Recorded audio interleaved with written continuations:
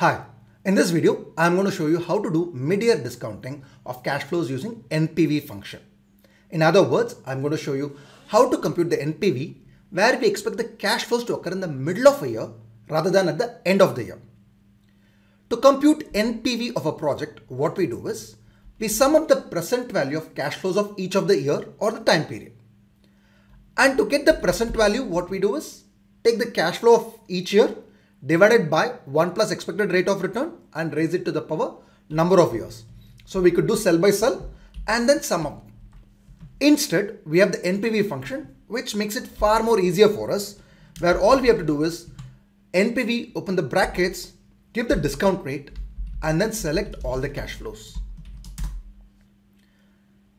But the NPV function assumes that each of the cash flow occurs at the end of the period that we have mentioned. So end of first, second, third year and fourth, fifth year.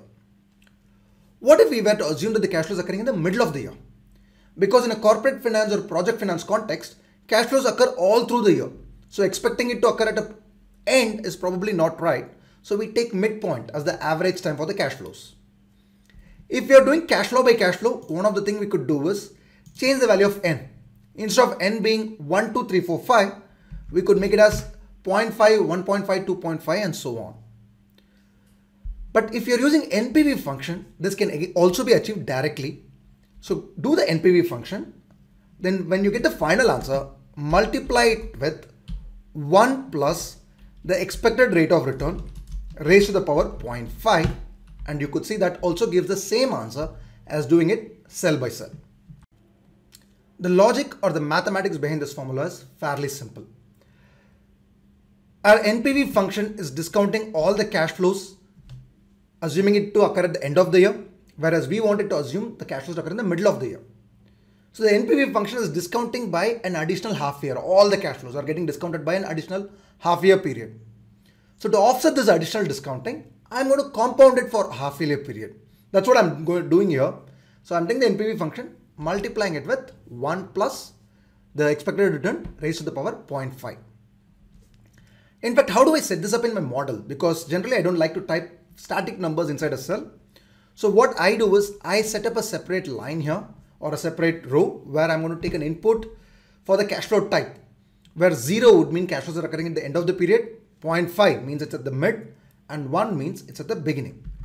So in this case, I'll type 0.5 here and all I'm going to do is simply link it to that cell. If the cash flows are occurring at the beginning rather than at the end, then I should be compounding it for one full year. And all I have to do is put the CF type as 1 and we get our answer. If it's at the end, change it to 0. Now 0 for end and 1 for beginning is consistent with the type argument we have for all the other financial functions such as PV, PMT, FV and so on.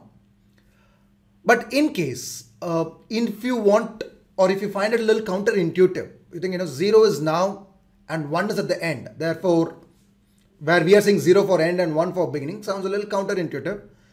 So what you could do is set up another row or another cell where we're going to put the CF timing.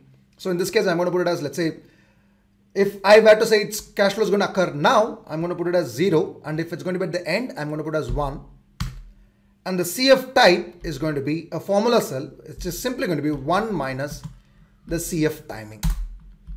So the CF timing, I could put it as 0 for now. In that case, my cash flow type becomes 1 and cash flow is getting compounded for one full year. If it's mid, type 0.5 and if it's at the end, type 1. We have our answers and we have a model which is fairly dynamic and you could let the end user choose what they want to assume as the timing of the cash flows. Before I end this video, I'm going to also tell you what not to do to do mid-year discounting.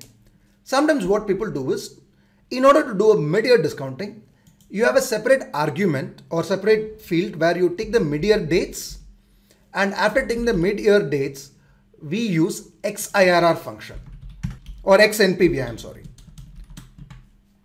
XNPV, the select the discount rate, then select the cash flows and select the dates. This is a wrong approach because the XNPV function always gives present value as on the first date that is there in our mid-year date column.